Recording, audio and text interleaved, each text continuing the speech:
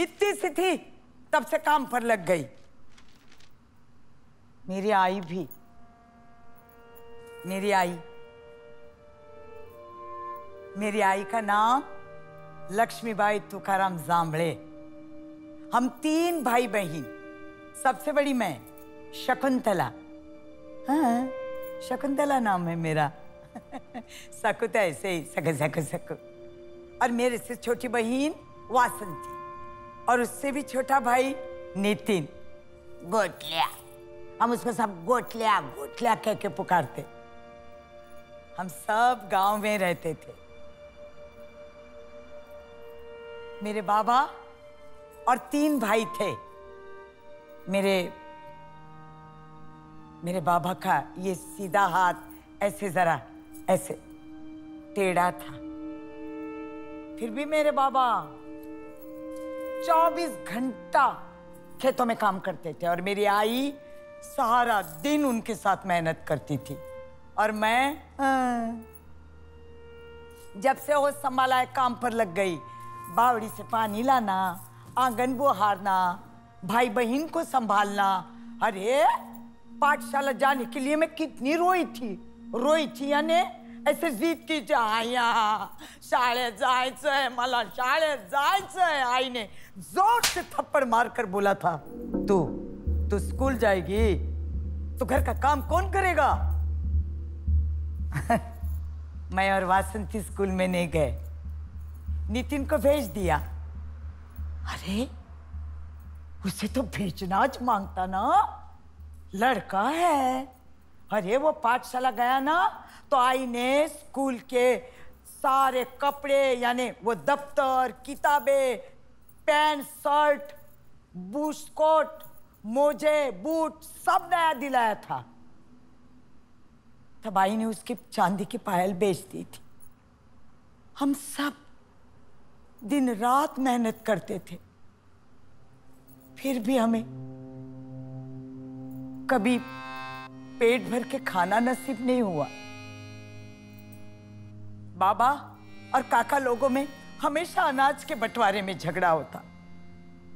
काका लोग मेरे बाबा को बोलते, ये ठूटिया ये ठूटिया तेरा हाथ देखना। काम करता है क्या? काम करता है तू हाँ? कर तो उसका है। मेरे बाबा एकदम चुप हो जाते। आई को बहुत गुस्सा आता था। मेरी दादी मरी ना, मेरे बाबा के आई। वो मरी ना तो मुंबई से मेरी नानी, बड़े मामा, छोटे मामा सब गाँव में आए थे। और हमारी हालत देखकर बहुत बुरा लगा था उनको। और बड़े मामा ने बातों बातों में आई को सुझाया कि तू जाके मुंबई में काम करना चाहिए। ये सकू को भी ले लेना चाहिए। मदद करेगी तेरे को। नितिन को भी लेंगे अच्छे स्कूल में पढ़ाएँगे। नहीं नहीं, वासंती और बाबा यहीं बने रहेंगे। अरे, जो भी अपनी ज़मीन है, बनी रहे। मुझे अच्छे से याद है, हम लोग गाँव से चले तो आई बहुत रोई थी।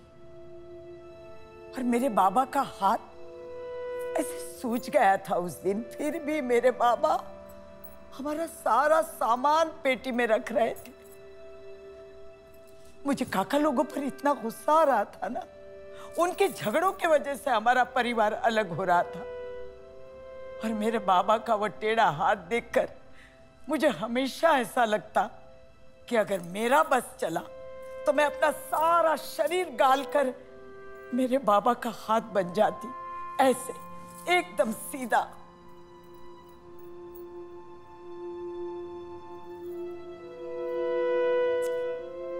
बाबा हमें बस स्टॉप तक छोड़ने आए थे। वासंती भी साथ में थी। आई ने रास्ते में वासंती को समझाया कि इधर उधर भटकना मत, अपने बाबा का ख्याल रखना। और इतने में बस आ गई और मैं एकदम दौड़कर खिड़की के पास जाकर बैठ गई।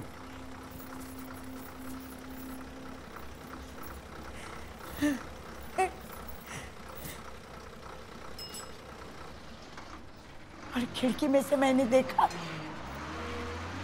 हमारी बस चली गई। फिर भी वासंती और बाबा बहुत देर तक वहीं खड़े थे। बहुत देर तक वहीं खड़े थे।